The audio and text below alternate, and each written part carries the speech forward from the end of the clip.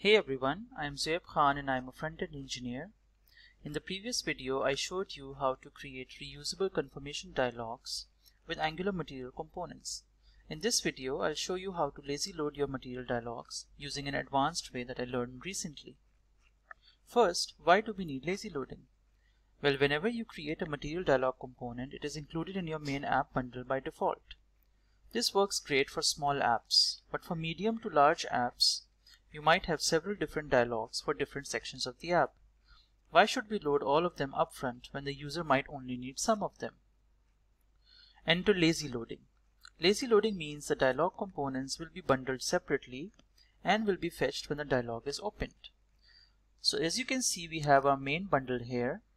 And when we open our dialog, only then uh, the separate bundle will be loaded.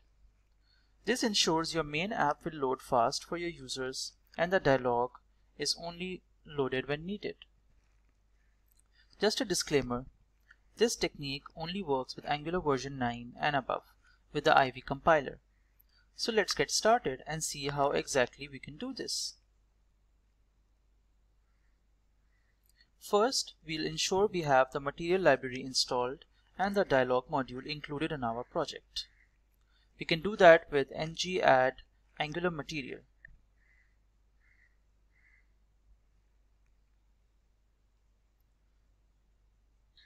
Then we'll add the mat dialog module in the app module, also the mat button module and the mat toolbar module for our app. Next, we'll create our dialog component which we want to lazy load with the name simple dialog. ng generate component. We'll add it to our dialogs folder and the name will be simple dialog. Let's go into our component for now, we'll just give it a title and some text. We'll also remove it from our main app module because we don't want it to be included in our main bundle. Next, let's create the service. We'll call it lazy dialog service. So we'll do ng generate service, the services folder, and we'll call it lazy dialog. Let's open that service up and let's create a function called open dialog. This function would take as the input the dialog name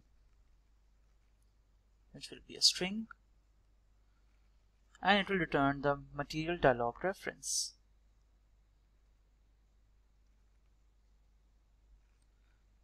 The first and the most important bit here is to use the web, webpack import function to get the dialog component chunk.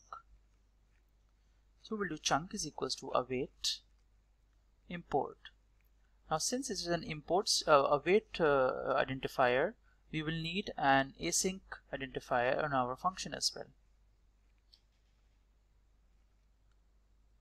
The path inside of our import function will be the path of our component. And this would be in our dialogs folder. And then inside of it, we will use the dialog name to construct the path. Now when Webpack sees this import function, it will create chunks of all of the components in the folder, expecting that any of them can be lazy loaded. Once we fetch this chunk, we just need to get the first value of this object. So we'll do object.values and we'll get we'll use a chunk and we'll get the first array value and we'll cast it as component type unknown which is the input for the mat dialog then we'll just add the mat dialog to our constructor first. Go private dialog mat dialog and then we'll just use the open function and return it here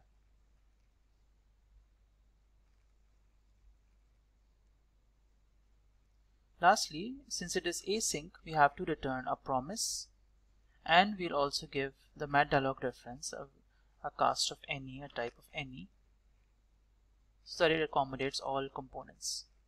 Great. We just need one last bit of change to get this working as it should. We need to add the dialogs folder to the tsconfig file. we'll go in includes and we'll add the path here. This ensures the dialogues are compiled properly otherwise you'll get a warning. Let's now quickly create the button and we'll include a public lazy dialog service instance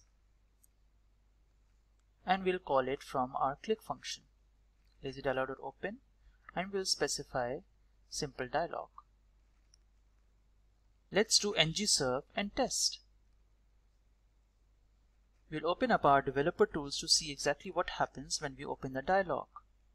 Let's refresh this first.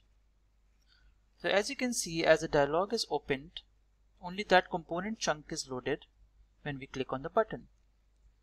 And this contains the whole component that we created. Great, this works well. Now this is great for very simple dialogues, but we'll need material components and other packages in our dialogues as well. To do that, we need to declare a module in our dialog component to bind everything up. So let's go back to our component, dialog component, and add an ng module decorator here.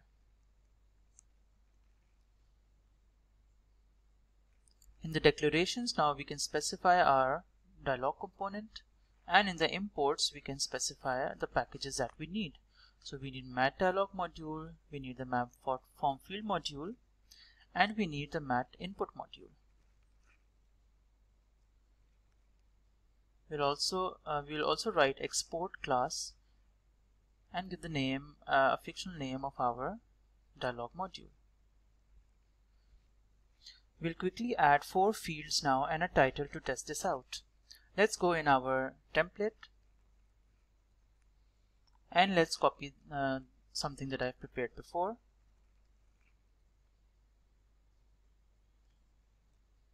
And let's quickly test this. Let's reload this and we can see the main chunk has remained the same. And when we open the dialog we'll see that okay yes the dialog chunk loads fine and it shows up fine as well. When you look into this chunk though you will see it not only contains a component but also the material library dependencies that it needs. So here it has a form field, mat form field dependencies and the validators and everything that it contains. To show a more complete example, I have created two more dialogues, one with the YouTube player and the other with a material list and icons. Let me sh quickly show it to you. So as you can see, I have added two more dialogues to my dialogues folder it's my list and my video and as you can see in the list we have the component and its imports that are required and we have then added two more buttons to show and use the same function to open it up. Let's test this.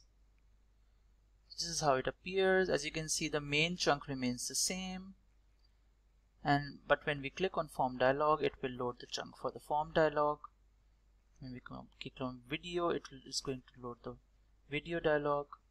And when we click on list it's going to load its own separate chunk. Great. So each has a separate chunk and loads when we open them up. And the best thing is our main app bundle size remains the same as it was, it was before. This way we can theoretically add as many dialogues as we want without affecting our app size one bit so there you have it. We covered an advanced way to lazy load Angular Material dialogues, which will help you avoid bloating your apps with unnecessary code and only load the dialogues when necessary. If you like this video, be sure to subscribe for more. Thanks for watching.